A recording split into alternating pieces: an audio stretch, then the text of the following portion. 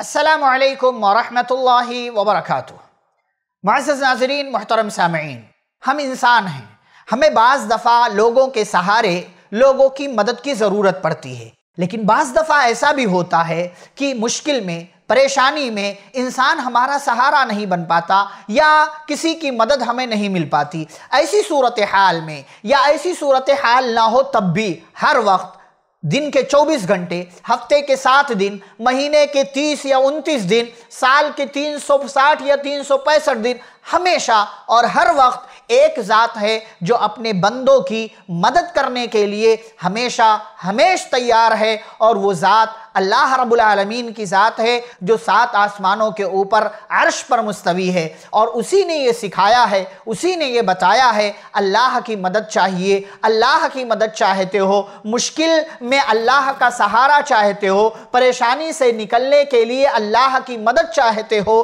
तो एक काम करो कि अपनी ज़िंदगी के अंदर इन दो चीज़ों को इख्तियार कर लो।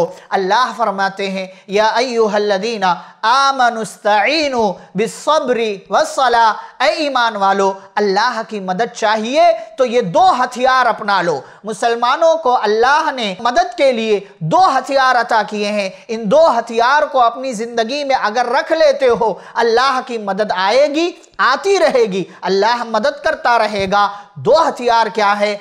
बिसब्री व सला एक तो सब्र और दूसरे सलाह सब्र किसको कहते हैं?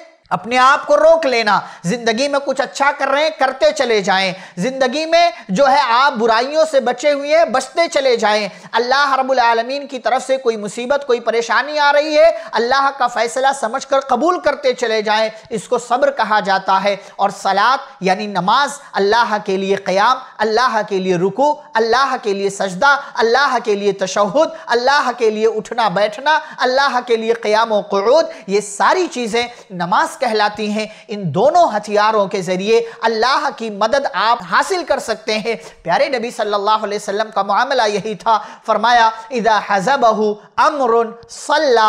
जब कोई मामला दरपेश होता, कोई मुसीबत, कोई परेशानी, कोई तकलीफ़, जंग का मौका हो, आंधी आ रही हो, तूफ़ान आ रहा हो, कोई और मसला हो, नबी करीम सल्लल्लाहु अलैहि वसल्लम नमाज़ का सहारा लेते थे। नमाज़ के ज़रिए अल्लाह की मदद आती है। नमाज़ के ज़रिए बलाएँ दूर होती हैं। हैं। नमाज़ के ज़रिए तकलीफ़ों का खात्मा होता है। नमाज़ के ज़रिए मसाइब को अल्लाह रब्बुल आलमीन दूर कर दिया करता है। और साथ ही साथ चूँकि ये चीज़ें अल्लाह की तरफ़ से आती हैं, लिहाजा उन चीज़ों पर चीखने, चिल्लाने, नौहा, मातम करने और शिकवे शिकायत करने के बजाय अल्लाह का फ़ैसला समझ कर कबूल कर लेना चाहिए, सब्र करना चाहिए और अल्लाह के इस ऐलान पर हमेशा ईमान रखना चाहिए। इन अल्लाह मासाबिरीन अल्लाह सब्र करने करने वालों के साथ है। आपके साथ दुनिया में कोई हो, बाप हो, भाई हो, बेटा हो या कोई और रिश्तेदार हो, दोस्त हो तो आप उसका साथ पाकर अपने आप को ताकतवर, मज़बूत समझते हैं। आप सोचें,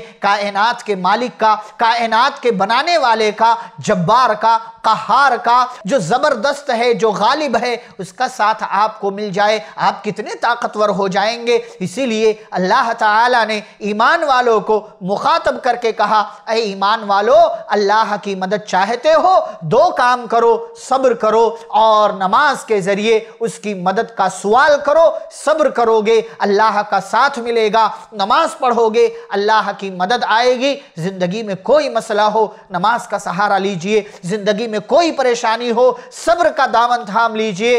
इन दोनों चीज़ों को अपना लेंगे, अल्लाह रब्बुल आलमीन की मदद आएगी और आप नहायत ही खुश नसीब इंसान अपने आप को तस्वुर करेंगे। अल्लाह रब्बुल आलमीन हमें इन दोनों चीज़ों को अपनी ज़िंदगी में शामिल और दाखिल करने की तोफ़ी अता फ़रमाए। आमीन। वसल्ला नबी करीम। वसलम वरहमल वर्का ऐसे ही फ़ायदेमंद इस्लामिक वीडियोस देखने और मनहज सलफ़ पर किताब व सुन्नत की तालीमत को आम करने में हमारा ताउन करें, ताकि आपके लिए ज़रिया नजात, जन्नत के हसूल का सबब, साथ ही माल में बरकत व इजाफे का ज़रिया भी बने। आमीन। जजाकल्ला खैरन।